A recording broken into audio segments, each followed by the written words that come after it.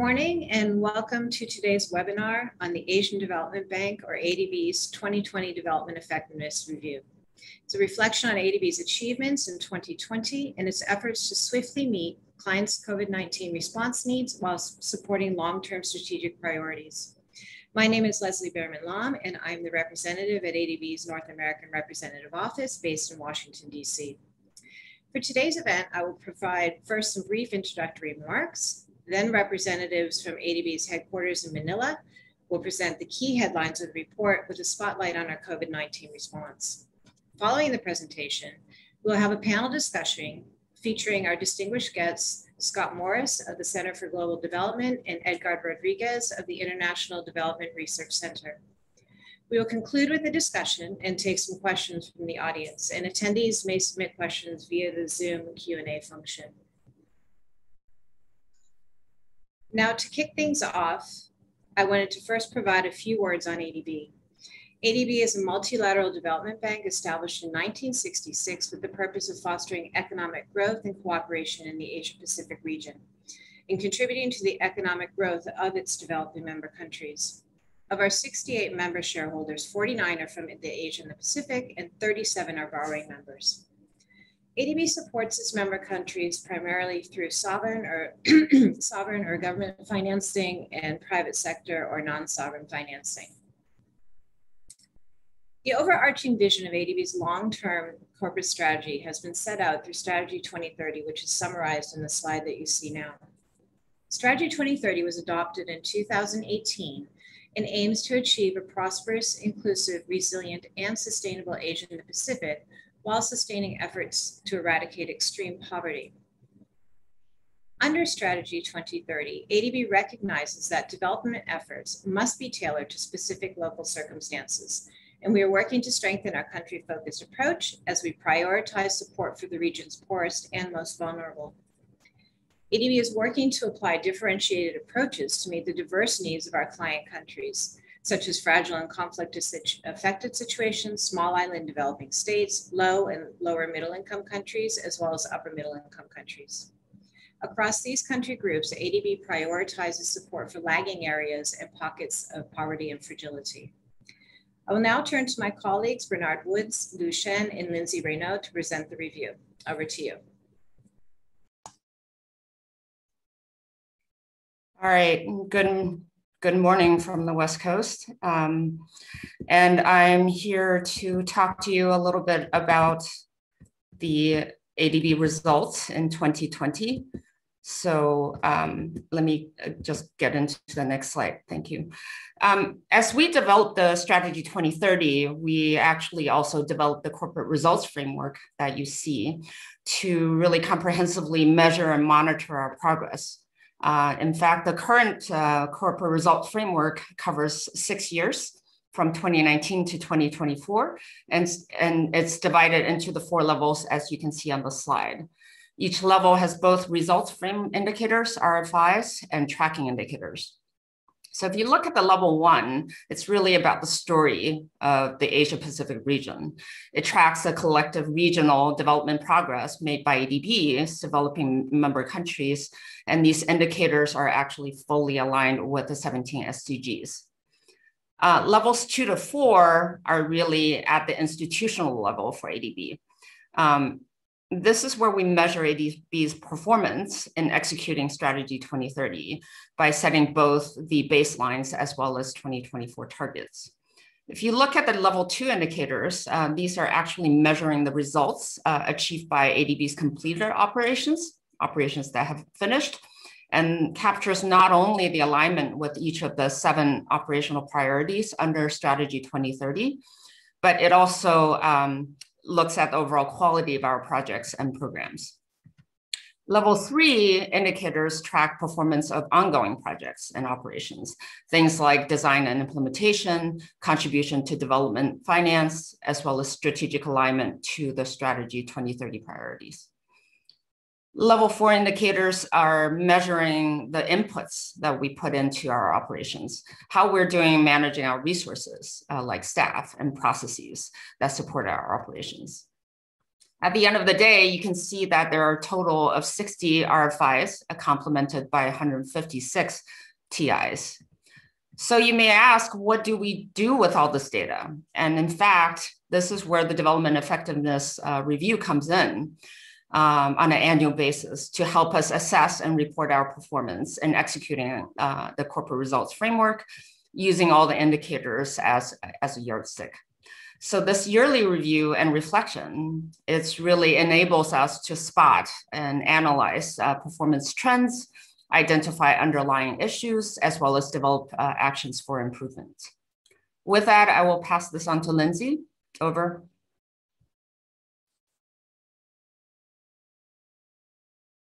Thanks, Lu. So the headline finding from our 2020 review is that we were able to swiftly reorient to meet our clients' COVID response needs, all while remaining aligned with our long-term strategic priorities. So by way of quick overview, Strategy 2030 identifies seven operational priorities, which stem from the pressing development challenges in Asia and the Pacific to achieve the Sustainable Development Goals. So as shown here, each of the seven priorities supports the achievement of at least one Sustainable Development Goal. And then we have SDGs 6, 7, and 9, which are supported by all priority areas. So our level one indicators, which Lu just mentioned, they're monitoring regional progress. And they revealed this year that the COVID-19 pandemic set progress towards the sustainable development goals further off track. Now, because new data on most sustainable development goal indicators is only available every few years, for our 2020 review, we newly made use of estimates and also projections to assess the pandemic's effects. And I'll highlight the main findings, as you'll see on this slide, related to each of our seven operational priorities. So first in the red box at the top left, we did see economic growth in the region contract for the first time in more than 60 years. Um, and millions of people are estimated to have been pushed back under the poverty line or into near poverty. Secondly, women's economic empowerment has been further threatened by the pandemic, with many estimates suggesting that they are at higher risk of being pushed back into poverty, given that they already had less participation in the formal economy and have also borne a higher share of the burden of unpaid care. Meanwhile, the environmental issues remained pressing in the region just as before, and despite severe economic contraction, greenhouse gas emissions are estimated to have reduced by less than 7% in 2020 and there were more than 5,000 deaths attributed to natural hazards in the region, which added to the toll of the pandemic. Finally, cities in many ways have been at the, at the front line of the pandemic, and here crowded conditions and the lack of access to services for all has made it difficult to contain, contain the pandemic in them. And moving to the orange box, um, we look at uh, the children who were stunted in the region, which was already 28% prior. And we know that this is a challenge that pandemic effects have worsened as food security has been exacerbated. In terms of good governance, we did see a slight improvement per the World Governance Index, but it still needs strengthening. And finally, while the foundations of regional cooperation are relatively strong in Asia and the Pacific, many countries looked inward to manage the pandemic but we know that renewed cooperation will be key to the recovery. So with this regional context in mind, how did we work to address these pressing issues? Our review looks both at completed and new investments to answer this question. So we have a series of indicators to assess the extent to which our completed projects and programs achieved the development results that they were designed to. And in 2020, we had good performance overall in achieving results under our seven operational priorities. A total of 235 completed projects contributed results for the 2020 review. And here we're highlighting just a selection of a few notable results achieved. Now turning to the future and our new investments, our Strategy 2030 includes six specific targets guiding ADB's investments until 2030. So by 2024, we're aiming to have our private sector projects make up one third of our total portfolio of new projects annually. And just below that, you'll see that by 2030, we're looking to have every $1 of our own financing from ADB for private sector operations matched by $2.50 of long-term co-financing. By 2030, we're also targeting to have at least 75% of our new projects and programs promote gender equality and equally 75% support climate change mitigation and adaptation. And we're also looking to have invested a cumulative total of $80 billion of climate change financing from our own resources. So what was our progress towards these six targets in 2020? Well, this performance you'll see in summary shown by the performance signals in the gray boxes here on the slide. So by way of quick overview on gender at the left in the blue box, our new operations in 2020 did set a record level of gender mainstreaming. And this was driven by a large number of our COVID response operations that really placed a focus on gender equality. So we'll we were on track, but we will really need to sustain this progress to be on target still in 2030. And this is going to become increasingly challenging, we expect, because we're also pursuing parallel targets uh, shown here on, on the slide, which is needing to also scale up our climate change focus and our private sector operations in tandem, or non-sovereign operations, as we call them. On the climate front, in the middle, our project teams did make a concerted effort to integrate mitigation and adaptation into our COVID response operations where appropriate. And the number of climate change operations did grow in 2020, but these formed a smaller proportion of our overall portfolio, which was enlarged by the many health and public sector management support interventions that were required to address the COVID crisis. Meanwhile, our climate financing reached a cumulative total of 10.8 billion for 2019 and 2020. However, overall in, in 2020, many of our COVID response operations did not necessarily have entry points for climate. And some of our larger uh, climate mitigation and adaptation projects did get postponed. So progress on these indicators slowed relative to the previous year, but they're still rated on track, although to watch, as you'll see by their amber signal there, signifying that we do have time to catch up, but we'll need to ramp up our climate focus in the next few years to do so. Finally, in terms of our non-sovereign operations, we fell off track on this front in terms of increasing their share in our overall portfolio. And this was mainly because of the big increase in the number of sovereign operations that we needed to uh, approve to support governments with their COVID responses. And likewise, we did not move the needle as much as previous years on increasing our co-financing ratio for private sector operations. So that's a quick overview of our performance from last year. Before I pass it over to Bernard to share about our COVID response work a little bit more, I wanted to let you know about a neat new platform that we recently launched. So this virtual exhibit, which we've titled Results Reality, is the latest in our ongoing efforts to bring the lives and experiences of our end beneficiaries closer to all of our other stakeholders. So through 360 degree interactive video clips, photos, and data, this exhibit offers visitors a window into the lives of communities served by our water supply and sanitation projects, serving small towns in Nepal. So what we've done is we've uh, captured people's daily struggle for water at the baseline. Uh, we've, we've profiled the ongoing changes being made to better their situation through ADB supported investments and the effects of these on the community and the people within it. So we're really looking forward to when we can finally go back to in-person events and hold the physical exhibit. And this is going to provide a much more immersive and interactive experience using augmented and virtual reality headsets. So hopefully that day will come sooner rather than later. Okay, over to you, Bernard, to share a bit more about our COVID response. Great, thanks very much, Lindsay. So uh, of course, uh, we couldn't have a complete discussion of uh, the performance in 2020 without talking about uh, the COVID-19 pandemic and ADB's uh, response uh, to that. If I can go to the next slide.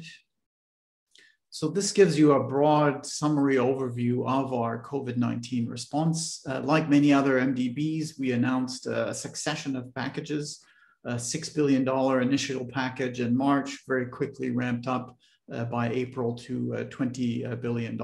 And this formed a, a, significant portion of the estimated 20, $230 billion uh, contributed by uh, multilateral development banks. Uh, we also changed the way that we work. We streamlined procedures to better and more quickly get our assistance to our developing member countries, including repurposing a, a, a, um, response option that we had for the financial crisis to support countries for their response to the COVID-19 pandemic as we all know, the vaccine uh, rollout has been crucial. Uh, in, uh, in November of last year, we announced a $9 uh, billion Asian Pacific uh, vaccine uh, facility. And to date, our efforts have, have covered 26 developing member countries, really focusing on the poorest and most disadvantaged. And we've done this in partnership. So through collaboration with WHO, uh, other UN agencies, and our uh, development partners, including uh, multilateral development banks. So let me talk a little bit about ADB's COVID-19 uh, response and the, the, the, speed with which uh, we did this, because uh, this is a, a, critical part of, of, the, of the picture. So uh, really early on, so in, in the end of, uh, of December 2019, we saw the first uh, COVID-19 cases uh, emerging in the, the People's Republic of China. We didn't really know it at the time. We just knew that some uh, kind of uh, strange outbreak of, of pneumonia. But by the 27th of, of January, four weeks later, uh, when uh, the, uh, the initial cases were being uh, reported and only uh, three days before the WHO declared COVID-19 as a public health emergency of international concern, ADB was already acting. So this was on the 27th of January, where we were reorienting an ongoing disease surveillance and outbreak response project in, in Lao PDR to quickly deploy funds to respond to COVID-19. So really early on from the outset, uh, already in January of 2020, ADB uh, was engaging and, and uh, reacting. Then on, on uh, March 11th, uh, the day uh, the WHO declared COVID-19 as a global pandemic, we already had seven operations in place, providing $32.3 million of assistance, covering all 40 of our DMCs. And then one week later, on the 18th of March, uh, you know, ADB was, was also feeling the, the effects of the pandemic. Most of our staff in our headquarters in, uh, in Manila and our resident missions were shifting uh, to remote working. Uh, we announced our, our first package of $6.5 uh. Uh, this was just 11 weeks after those earliest cases were, were seen in People's Republic of China. Then on the 13th of April, uh, we announced a, a series of, of uh, policy actions and policy variations to respond uh, to the pandemic and an increased package, as I mentioned, of, of uh, 20 billion. We knew our teams needed guidance and support. The businesses, as usual, really wouldn't uh, wouldn't cut it in this case. So we released a, a series of, of guidance notes on how we would change our systems safeguards, procurement, uh, financial due diligence, results management uh, to really help our operations teams uh, respond uh, to the pandemic. And then early on, also, we started tracking all of the COVID 19 uh, policy steps that were undertaken by government. And we put together a COVID 19 policy database uh, of all the, the different steps and data so that our uh, developing member countries could look at this uh, to, to uh, build in their own uh, policy responses in, in designing their, their COVID-19 and emergency uh, response operations. On the same day, uh, the, the first two of the, uh, the, the COVID-19 pandemic response option that I mentioned, operations were approved. So by the 31st of May, and this is again very quick when when you look at the, the, the usual time it takes for for ADB to put Uh, operations in place. 31st of May, we had 52 operations uh, worth uh, 60.6.6 billion dollars already made available to our developing member countries, and just seven months after. Uh, the, the package of, of 20 billion uh, I mentioned, as I mentioned, we had the uh, Asia Pacific uh, vaccine access facility. So to sum it up, by the end of, of 2020, we had 185 operations totaling $16.3 billion available uh, to our developing member countries, including uh, 26 of the uh, COVID 19 pandemic response options. Uh, that support has continued in 2021, uh, and we now have uh, seven uh, vaccine access projects approved uh, for a total of $1.3 billion uh, in financing. So overall, a very rapid response from the earliest signs of, of those pneumonia cases in People's Republic of China.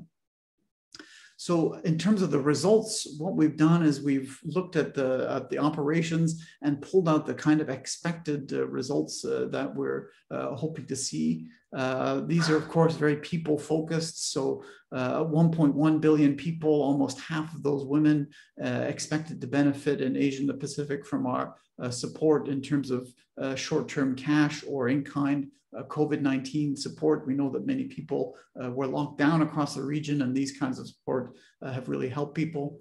4.4 million businesses, of which 1.4 million are women owned, also benefiting from COVID-19 support. Uh, we've provided uh, testing, so uh, 8.4 million people, including testing of six, 7.6 million people benefiting from improved health services. Uh, there's been a focus on, on health workers, 2.6 million health workers uh, expected uh, to, to have improved ability, skills uh, to tackle uh, COVID-19 and other infectious diseases, and also knowledge. So uh, ADB prides itself on being a knowledge bank and has contributed almost 600 knowledge products designed to respond to the needs of our developing member countries. So to finish off, let me talk a little bit about uh, the kind of feedback. So we, uh, in, uh, in the late uh, latter stages of 2020 and in early 2021, went to our developing member clients across Asia and the Pacific and asked them for their uh, perspectives on our COVID-19 response. Uh, very good ratings on, on speed, on advice, knowledge, products, tailoring response to the context, a little less on the, on the size uh, with respect to the needs, but still uh, above 75% and 80% also on the results. So all in all, a, a, very difficult time, staff working outside of headquarters on remote work, uh, everybody uh, struggling with the, the, personal effects of the pandemic, uh, but really uh, ADB rising to the occasion uh, and really bringing its, its best foot forward in terms of bringing Asia and the Pacific the support it needs for the, the COVID-19 response. So let me leave it there and turn it back uh, to Lu for looking ahead. Thank you, Bernard. Um, so we can move on to the next slide. So yeah, looking ahead, and this is really drawing on what Lindsay and Bernard have um, really discussed over overall about the results in 2020 as well as the COVID situation. I uh, just wanted to share with you some of the key actions that we're looking at to improve our performance and address the challenges that the development um, effectiveness review has, uh, has, has really identified. Uh, for example, we are strengthening our approach to monitoring projects during implementation, including how they're delivering against projected development results. We're looking at the private sector operations and their performance um, and looking to improve it by establishing a framework uh, that better captures additionality as well as anticipated development results. We have also really intensified our efforts to improve the sustainability of um, results achieved by our sovereign projects. Uh, we have done a comparative study examining practices for promoting and determining sustain sustainability across development partners, Uh, and as Lindsay had indicated, we are also doing well with mainstreaming gender uh, into our project preparation, but we're also making an effort to ensure that we have the hum uh, human resources uh, to achieve the intended gender equity results. And lastly, we continue to support efforts to reach the SDGs uh, through the implementation of Strategy 2030. Um, but with COVID, it's really about our deepening our engagement with our clients towards a sustainable recovery from COVID. So with that, I'll pass. Um, oh, next slide. Yeah, so this is really the link to our development um, effectiveness report, a review. And so with that, I will pass this back to Lesley. Thank you, Lu, and thanks Bernard and Lindsay also for the presentation. Uh, just moving on to the discussion portion. Uh, again, we are joined by two esteemed guests from both the US and Canadian uh, development research community. We're pleased to have them here to provide insights on the development effectiveness review. So our panelists today are Scott Morris and Edgard Rodriguez. Uh, to provide brief introductions of each before they provide their remarks, Scott Morris is a senior fellow at the Center for Global Development. His research addresses development finance issues, debt policy, governance issues at, inter at, international financial institutions, as well as Chinese development finance. And I think he covers more than that as well. Um, Scott will be followed by Edgard Rodriguez. Edgard is a senior program specialist and Myanmar initiative lead at the International Development Research Center. He's an expert on capacity building for public policy, economic development, and labor markets in Asian and Latin American economies. And we do thank you both for joining us today. Uh, first, we'll hear from Scott, followed by Edgard, and then I may pose a few additional questions before we turn back to our ADB presenters for responses. Thank you. Um, great. Well, thanks, Lesley, and thanks for the opportunity um, to, to speak today. And um, and a particular thanks to your colleagues, um, both for the presentation, but you know, more importantly for the underlying report. And I have to say, um, those of us in the outside world, I, I, hope we can be forgiven for not faithfully reading reports of this sort every single year. Um, but in a year like this, I think, you know, arguably when the stakes are higher, this is exactly the sort of resource that I'm looking for um, to really understand um, how how the ADB, how institutions like the ADB are performing uh, in the midst of the crisis, and and particularly compared to what um, you know what what normal times performance looks like. And I, I think this this report is a real resource. So I I, I want to uh, compliment you on that. Um, so let me just give um, very briefly a, a, list of reactions in no particular order to, to what I saw in, in this assessment. Um, and I, you know, I'm I'm going to focus really on the, the crisis period. I that's what's on my mind. I think it's one what's on uh, everyone's mind. But even analytically, I think that's um, where where I'm spending my time. So that that is the nature of my remarks. So um, you know, first and foremost, I, I appreciate and and and give credit to the to the bank for making speed an explicit priority uh, in crisis response. And as much as it, it may seem intuitive, I don't know that it is uh, at the forefront um, of all actors in, in the um, sort of system of finance uh, for developing countries. And I think, you know, it's worth emphasizing the point in the sense that, you know, if we go back to the spring of 2020, uh, at the outset of the crisis, you saw very quickly a diversion as uh, a divergence among countries, with the advanced economies uh, providing fast and massive stimulus and response to the crisis in, in their own countries. Um, some sense that it, wouldn't it be ideal for all countries to be able to do this, but then it, we see very quickly in the numbers that um, you know uh, developing economies and particularly the poorest uh, were able to do nothing like that. And yet as as an operational goal, I think it's exactly you know th- that kind of framework um, ought to be at the forefront uh, of of how the MDBs were positioning themselves in the crisis. Namely, how can we help developing economies maximize their fiscal response to this crisis?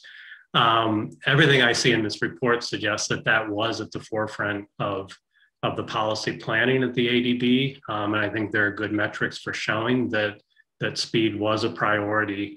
Um, and we should recognize that it comes, it's not just that it's, um, you know, it puts tremendous burden on staff uh, to move quickly and work long hours. Um, there are real trade-offs in speed.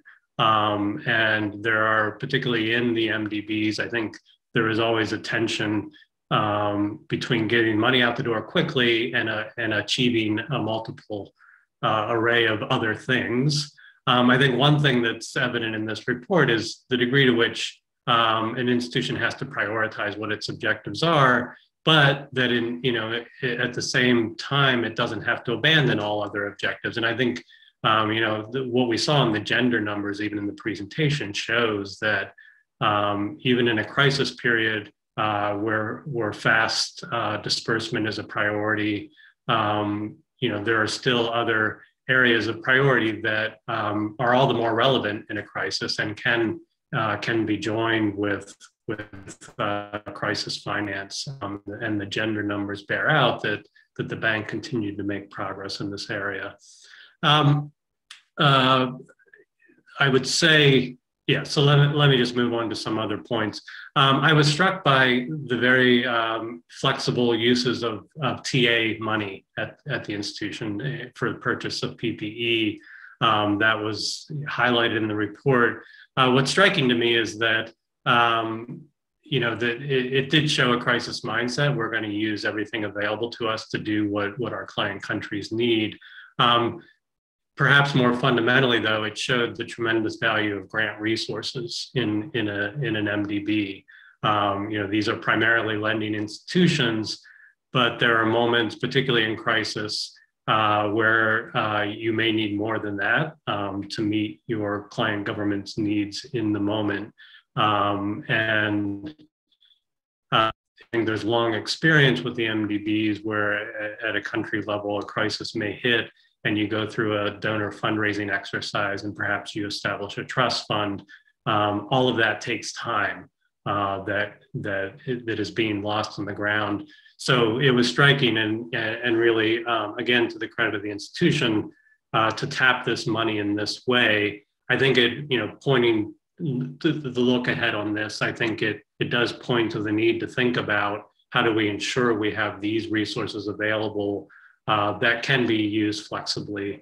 Um, and I am reminded of, uh, uh, the, of the decisions a number of years ago at the bank uh, around the merger uh, uh, of the bank's balance sheet, um, sort of the reorient, well, the, the, the, the changes to how fundraising would be done for the for supporting low income countries that that really, frankly, constrained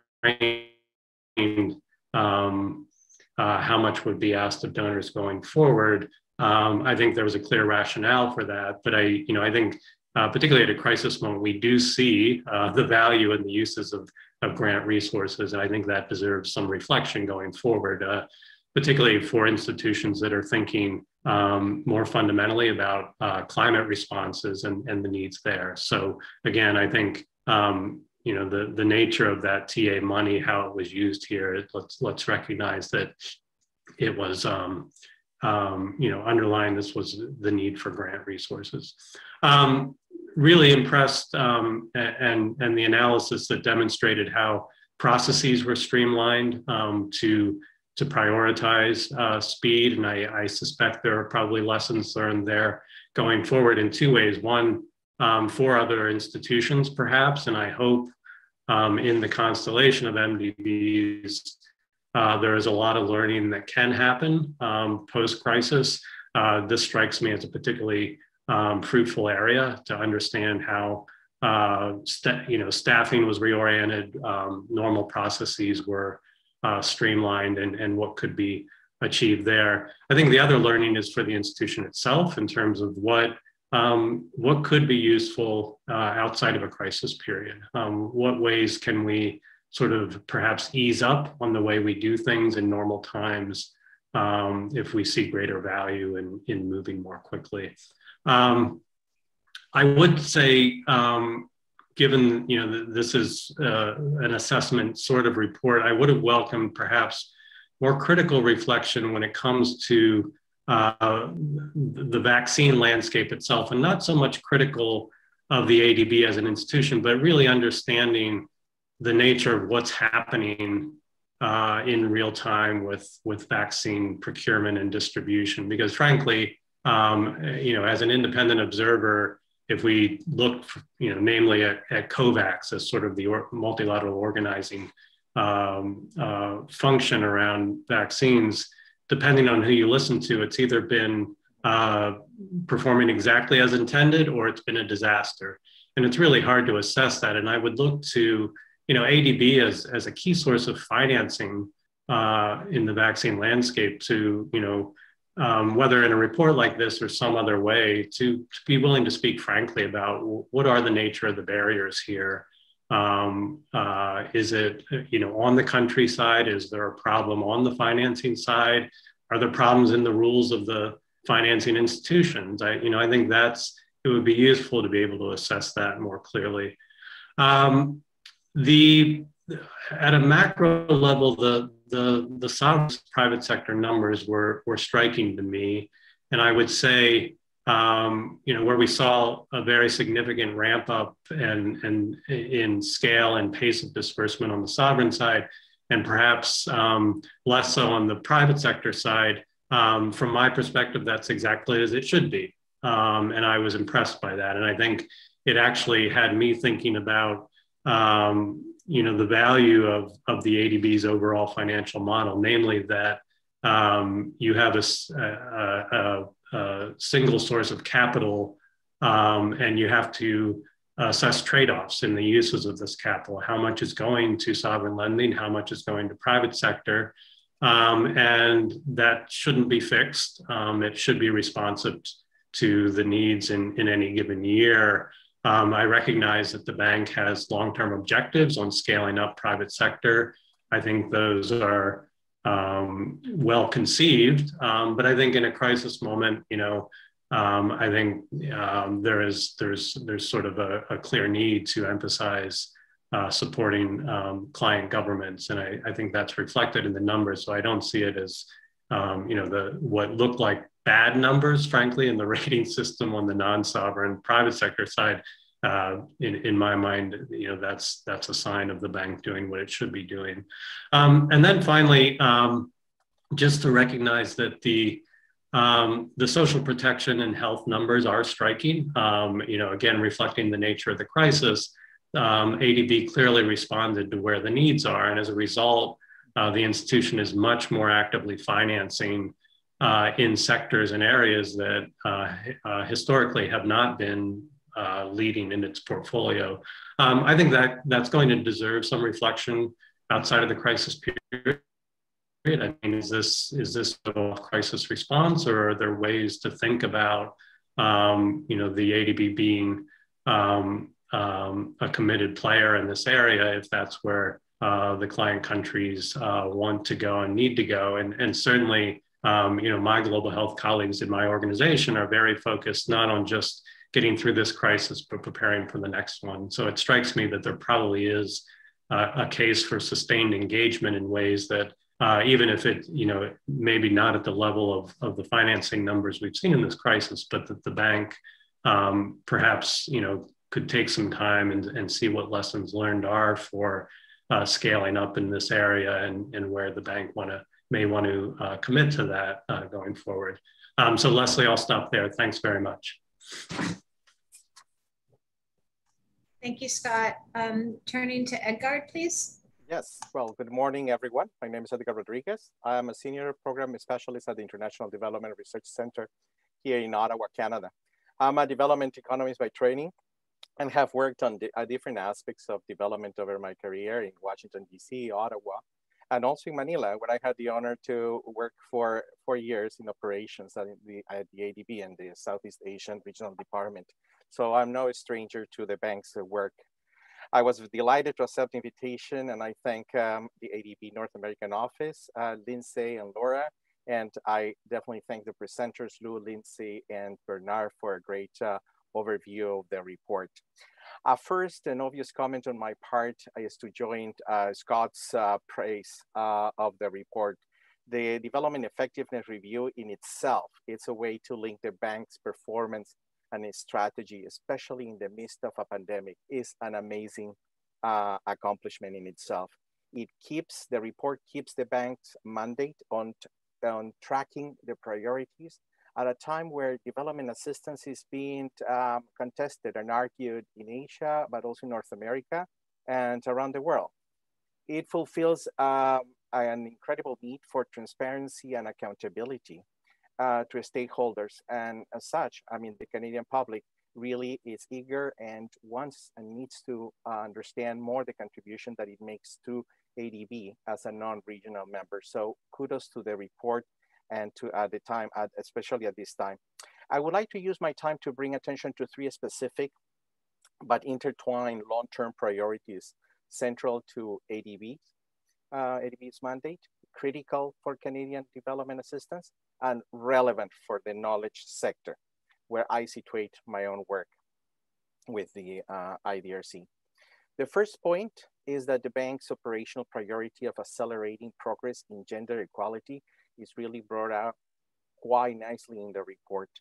This goal is wholeheartedly shared by Canada, where a feminist international assistance policy has been in place since 2017. We're one of the very few countries in the world that have that uh, feminist angle to our assistance. Promoting gender equality through the well-being of women and girls is also enshrined in our own new IDRC's strategy for 2030.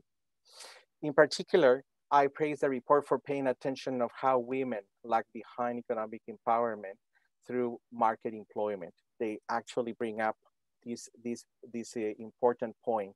It's an area that deserves further attention in Asia because in Asia you face vast interregional differences. For example, the report talks about that less than half of 48% of all Asian women engaged in labor force. That these indicators, when you are systematically lower when you look at sub-regions like South Asia, where it's only at 23% of uh, women in the labor force compared to 80% of men. So what does it mean? Such a large gap in employment deserves a lot more attention the, on the research side um, to guide future banks interventions and to monitor their effectiveness. More is needed to know about how women's time gets to be divided between work and care. For example, is how paid labor and unpaid care interact, especially during the pandemic, because during the pandemic, it has been revealed how vulnerable Asian women are in their roles as caregivers. And the, and the report pays attention to that. And it's a, a crucial point to make. So we need more investment in knowledge to know how to empower Asian women more using, for example, more, more investment in time surveys to understand better social norms dictating the distribution of time, or through more systematic evaluations and to learn about best practices or more effective ways to provide childcare to Asian women. A second point to make, it's around the central operational priority number six, which I think is crucial for, for Asian, is strengthening governance and institutional capacity. The report focuses on improvements in tax collection, and highlights some of the successes in the last year on the operational front, such with an example that they give about the Vietnam's public expenditure policy uh, quality program. As clients of the bank, uh, Asian governments are definitely committed to improving their own performance and effectiveness. And so a question of how could they continue improving this effectiveness is something that of importance, is something where the ADB can, um, is definitely interested and it provides uh, um, um, it provides this the focus of the report. Uh, one way about improving effectiveness in this particular area is actually mentioned by the World Economic Forum. Economic Forum um, does talk, and this seems to be a sidetrack, but it's actually related. Um, the World Economic Forum talks about how Asian countries have been successful in accelerating women's economic empowerment, but they lag behind women's political participation. And therefore, the gender gap uh, reports published by the World Economic Forum tends to uh, qualify, uh, rank Asian countries lower in terms of governance indicators. So trying to track more how women are represented in the government structures, whether they are officials, members of parliaments, ministers, head of states, regional representatives, can help raise the voice of women when discussing fiscal matters. And that's the connection. Several uh, Asian governments already do this. They do pay attention to gender budgeting, which deals with the fiscal side of things. It's when public budgeting that considers the needs of the different genders among the population of citizens. So we have an opportunity to engage with governments in gaining greater awareness, undertaking research, and increasing capacity, linking greater gender equality with government effectiveness in the, in, in the tax policies, for example, or in fiscal, in fiscal matters. And this will result in a better development outcome. A final comment uh, that refers to how ADB meets its effectiveness. And I want to praise the report's chapter six on knowledge sector. The first time I see a, um, a chapter just dedicated to this, to this exchange. What the bank has been able to do in 2020 under a difficult environment is just simply amazing. The knowledge activities not only feed into the bank's operations, they also demonstrate the capacity of the bank to become a leading knowledge and learning organization in the region. So we can only praise for that. Asia also has like world-class universities, outstanding government and independent think tanks, increasingly sophisticated national research councils, and more. All these institutions are have a lot to offer to ADB and in a way they are contributing already. ADB engages with them in knowledge seminars at the annual meetings. They engage them through TA efforts such as the Asian uh, Think Tank Network, or through a recent example, which is the Southeast Asian uh, Development Solutions Platform, where they showcase some of the technologies and innovations that were available in Asia. These and other knowledge mechanisms provide ways in which national and regional capacities, especially those of the low income member countries of the bank, can grow to assess their own development challenge and the, the, the different ways in which to address them.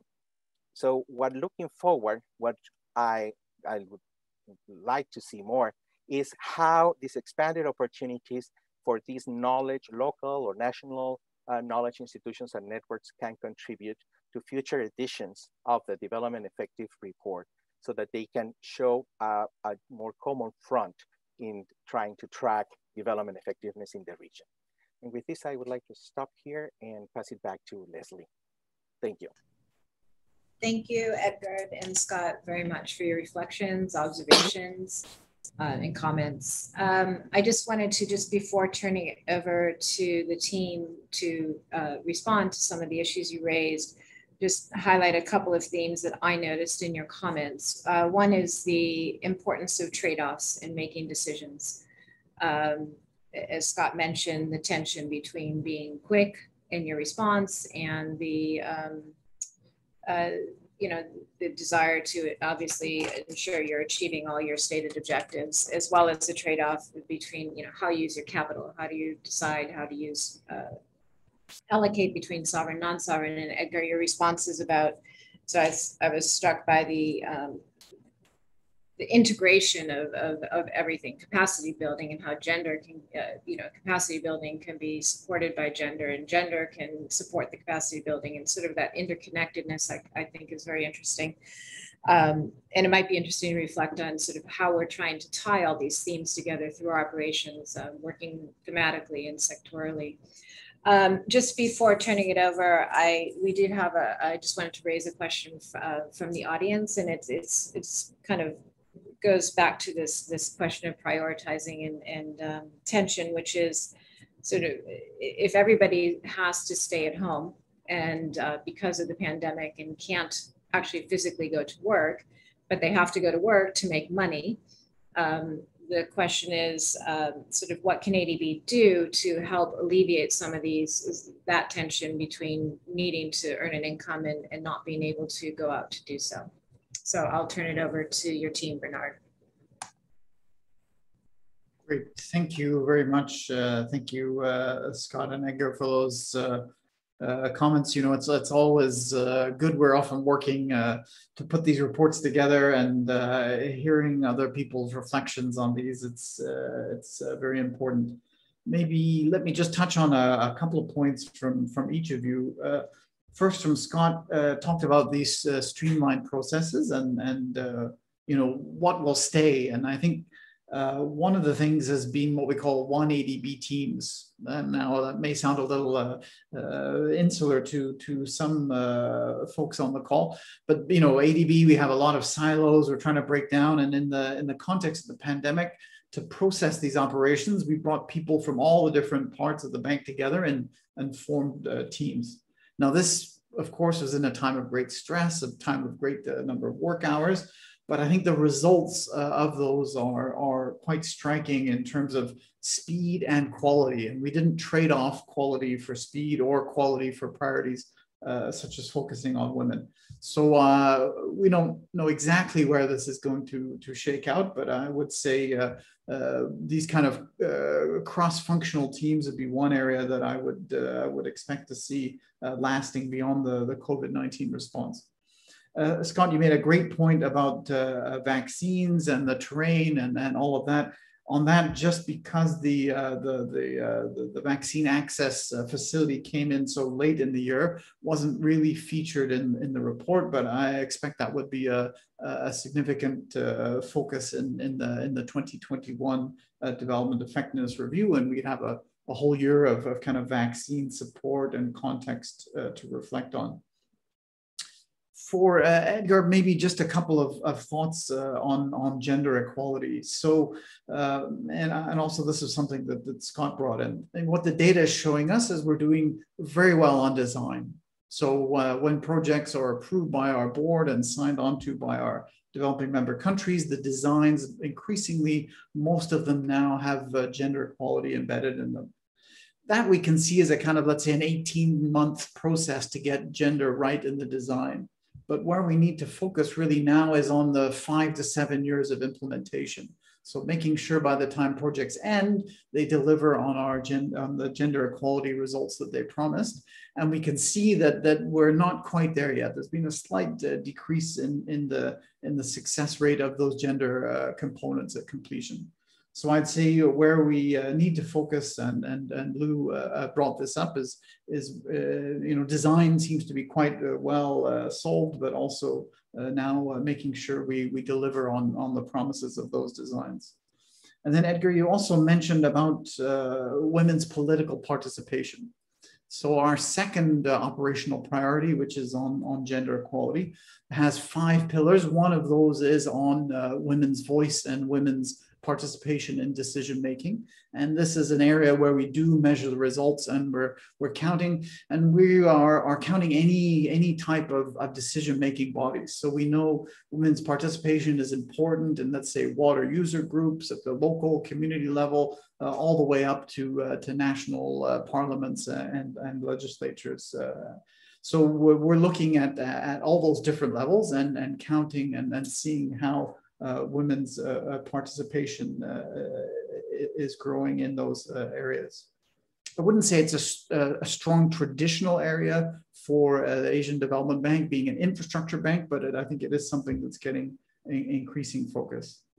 And finally, the, the, question from the audience, it's a great one. I think we're all uh, all um, uh, experiencing that. Uh, maybe in the short term, clearly the response has been getting support into the hands of people who are under lockdowns, businesses that have been uh, forced to close, uh, you know, uh, billions of dollars, millions of people reached uh, and, and uh, businesses reached through that.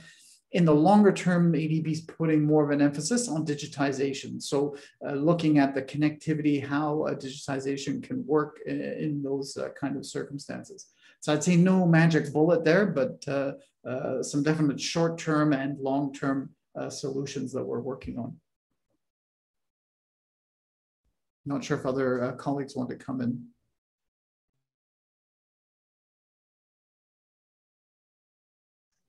Scott or Edgard, did you want to jump in to respond or? Yes, and um, just to elaborate on the point of the political participation, um, my point there, uh, Bernard, is to exactly use that uh, power that you have on the under the operational priority number two, and trying to inter in, uh, integrated or to bring it up in the operational priority number six, which is about uh, strengthening governance and institutional uh, capacity. So you might find that you actually have accomplished a lot more than you think you have.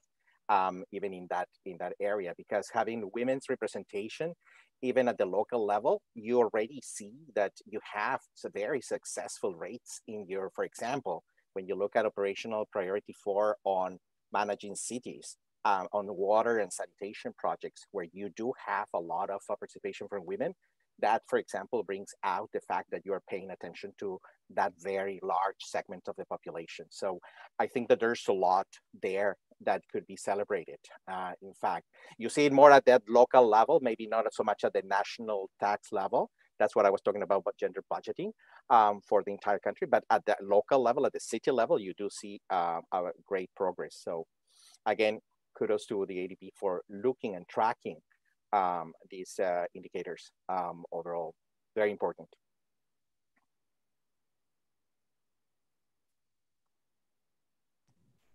Okay, um, thank you, Edgard. Just uh, kind of picking up on, on one of the points that Scott raised as well in his intervention, um, sort of, and Lu, you, you, you focused on this in, in, at the end of the presentation, which is looking forward and moving ahead and obviously we look back, but we look back to inform how we want to move ahead.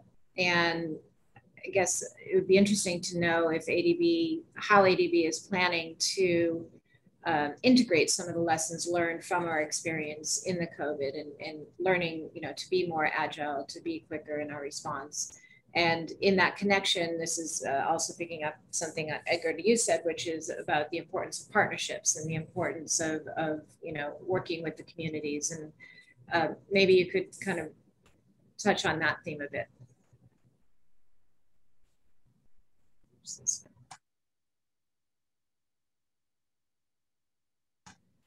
Bernard or, or Lu, if you want to jump in. Lu, do you want to jump in or do you want me to go? Um, if you could go ahead, that that's that would be great. Thanks. Great. So I think a lot of the story, and, and this is also one where maybe we haven't finished telling it, is at the the level of the countries with what we call our resident missions. So these are uh, our offices, whether it's in Ulaanbaatar or in, in, in Suva, in Fiji, where we have a, uh, a mixture of staff working uh, side by side with government, the private sector, uh, communities. And I think looking at what they've done uh, in the context of, of our COVID response, when you know we have a model where uh, a lot of people travel from Manila to those countries to, to process uh, projects, and that just wasn't possible. So I think those partnerships at the local level really, really allowed us to respond in the way that we did. And again, I think those are the kinds of, of, of sort of lasting changes. I think we're, we're taking a look at the, the strengths of those resident missions and how we can uh, continue to, to build on that. And that ties in, I think, to knowledge because those uh, colleagues, they're the closest to our, uh, our government uh, uh, counterparts. Uh, they're knowing what the kind of knowledge needs are. They're engaging in, in policy dialogue. So I think an increased focus moving forward is really, uh, really uh, the, the strength and the value added of our, of our uh, resident missions, our offices across Asia and the Pacific. Maybe I'll, I'll just leave it there. Thank you.